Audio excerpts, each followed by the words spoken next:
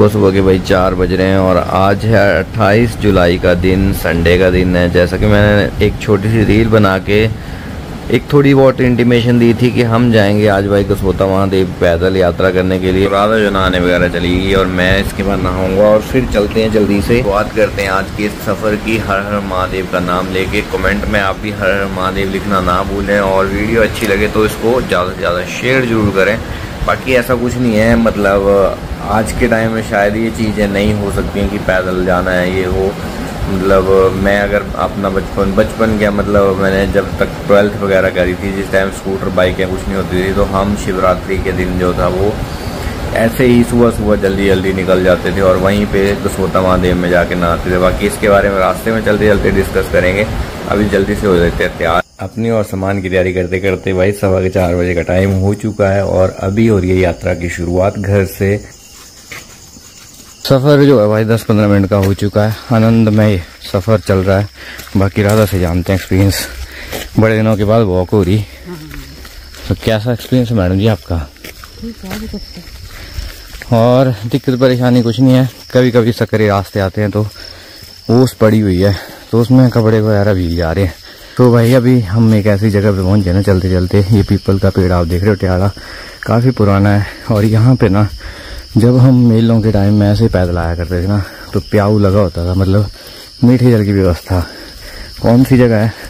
Gas करके comment ज़रूर करना। तो भाई चालीस मिनट का सफ़र तय करने के बाद जो है, गसोता महादेव मतलब गसोता गाँव जो है, वो एक किलोमीटर है और आधा किलोमीटर जो उसके आगे महादेव का मंदिर पड़ता है। तो हालत जो है भाई, कुछ ओवर एक्सपोज हो रहा है, मंदिर में बताते हैं आपको, पसीना पसीना हो रखा है इसको। चढ़ाइयाँ चढ़नी पड़ रही हैं। साथ में हम घर से कुछ ज़्यादा नहीं, सिर्फ़ जल का डब्बा लाए हैं। जो भोलनाथ को चढ़ाना है। फाइनली एक घंटे का सफ़र करने के बाद जो है, पहुँच चुके हैं हम गसोतेश्वर महादेव के दरबार में। यहीं से शुरू हो जाता है मतलब आप समझो मंदिर। और अभी तक जो है वो सनराइज नहीं हुआ है, आसमान पूरा बादलों से भरा हुआ है। रास्ते में कुछ ज़्यादा दिखाने के लायक था नहीं, क्योंकि अंधेरा था। जाते टाइम भी पैदल ही जाएँगे, तब आपको रास्ते के कुछ दृश्य दिखाएँगे। इस तरफ़ जो है गसोता महादेव का जो मेला लगता है ना, सारी शॉप्स वगैरह इस तरफ़ ही लगी होती हैं। आजकल यहाँ पे सिर्फ़ एक मिठाई की शॉप लगी हुई है, सावन के महीने में। तो अभी चलते हैं। थोड़ी देर पहले हमें कुछ वाद्य यंत्र सुनाई दे रहे थे मतलब अंदर जो है वो आरती चली हुई है तो बनते हैं भागीदार आज की आरती का।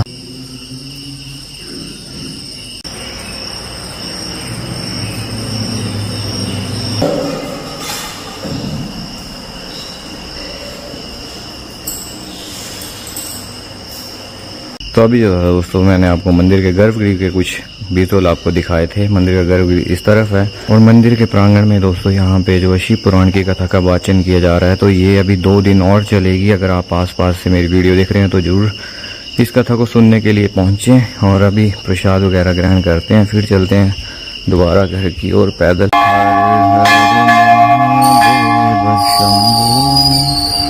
काशी विश्व। गसोता महादेव मंदिर के प्रांगण में ना एक पेड़ लगा हुआ है। ये देखो, ये है रुद्राक्ष का पेड़।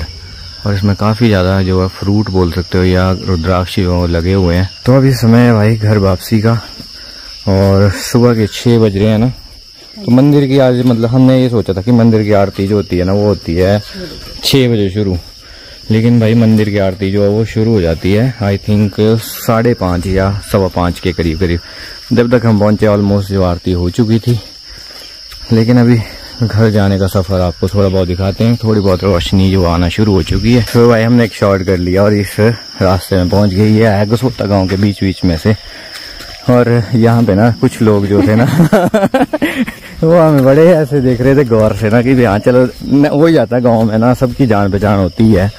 तो उनको अलग से लग रहे थे। तो मैं राधा को मज़ाक कर रहा कि राधा ये हमें लोग बड़े ऐसे देख रहे हैं ना तो राधा बोलती क्या बोलती? बोले तुम्हारे बोल। दिया नहीं नहीं तय बोले वे बोले वे इन्हें दिखाई लोग भी जनता अंग्रेज़ आओ आज गाँव च ना? मेले था रात ज़्यादा क्रीम रात ज़्यादा क्रीम लाए तो ये फॉरनर हाँ ही लगे गोरी चिट्टी। बचपन में दोस्तों कई बार जो था ना हम इन गाँव में ना लोहड़ी गाने भी आया करते थे। तो ये जो मतलब पुल, ये पुलियाँ दिख रही है ना, इनके साथ में से यहाँ से अब तो रास्ते बंद हो चुके हैं वो। तो यहाँ से एक रास्ता जाता था नीचे नीचे और फिर वो जाता, रास्ता जाता था नीचे घराट के पास और सीधा जाके द्रोग में निकल जाते थे। लेकिन अब वो रास्ते खत्म है। हाँ जी। नहीं है यार, दिख भला बिल्कुल टोटली खत्म है बिल्कुल। रास्ता तो है बट मतलब साफ़ सफ़ाई नहीं देखो बोला भाई। टोटल बंद। कोई रास्ता जाता ही नहीं होगा भाई साइड से तो। सब सड़क सड़क से जाएँगे हम। सो अभी जो दोस्तों हम पहुँचे गुलेला के पास और यहाँ पे ये है गुलेला स्कूल और इसके साथ ही थोड़ा सा बोर्ड दिख रहा है शिव धाम का। तो इस तरफ़ बन रहा है गुलेला का शिव धाम और ये गुलेला का पुल। हम थोड़ा शॉर्टकट लेके आगे सड़क से इस सड़क तक। इसलिए नहीं तो शिव धाम भी दिखाते हैं आपको। वैसे मैंने दो तीन दिन पहले वहाँ का एक ब्लॉग बनाया हुआ है भाई। ये पुल ना काफ़ी हाइट के ऊपर है। थोड़ा बहुत दिखाते हैं आपको। नीचे शायद पता नहीं कौन सी गसोती खड्ड है या कौन सी खड्ड है। खड्डों में तो आजकल ज़्यादा पानी है नहीं। ये देखो। सामने की तरफ़ है गुलेला गाँव। हमारे एक मित्र रहते हैं यहाँ पे अमित मित्तू भाई। पता नहीं कौन सा घर है भाई का। ये बड़ा पे। ये बता रही है मैडम जी कि ये अमित का भाई अमित का घर। बाकी चलते हैं भाई। बारिश जो है धीरे धीरे बढ़ना शुरू हो गई है। पहले थोड़ी हल्की फुल्की थी, लेकिन बढ़ रही है भाई, बढ़ रही है धीरे धीरे और एक तरफ़ पसीना पड़ रहा है, ऊपर से बारिश पड़ रही है तो बीमार होने के चांसेस बढ़ जाते हैं। इस तरफ़ से हम आए हैं, कितनी धुंध छा गई है, देखो इधर। तो भाई बारिश लगी हुई है छाता एक ही है हमारे पास ना। तो पीए साहब ने छाता खोला, लेकिन पीए साहब अच्छे से पकड़ नहीं पा रहे, पीए की हाइट थोड़ी छोटी है। तो जैसे छाता नीचे आ रहा है, वो आँखों में ज़्यादा लग रहा है। पीए बदलना पड़ेगा हमें मेरे को लग रहा है। नहीं तो लंबी लंबी हील्स बनानी पड़ेगी पीए को। तो फ़िलहाल जो दोस्तों, हम गाड़ियाँ गाँव के आसपास पहुँचे हैं। तो यहाँ से जो है, सबसे शॉर्ट शॉर्टकट जो लिया जाता है। तो ये देखो, ये वाला, ये चला गया रोड ताल के लिए। हमीरपुर वाले साइड से हम आए थे, सामने के घर है। बड़ा पुराना रास्ता है भाई, अब तो पक्के हो गए। मैं भी आई थिंक ज़्यादा नहीं होगा तो पंद्रह साल के बाद आया होना। उस टाइम तो छोटी छोटी पगडंडियाँ जाती थी। और इसी रास्ते पे जो है जाके हम निकलेंगे समराला। में रास्ते में एक घर मिला दोस्तों। देखो ये कच्चे घर हैं मतलब स्लेटों वाले। तो इस घर में देखो रसोई में चूल्हा जल रहा होना तो वहाँ से धुआँ निकल रहा है देखो कैसे। ऐसे लग रहा है जैसे जैसे मतलब फॉग की तरह उठ रहा है ऊपर। तो कितने प्यारे ये घर हुआ करते थे।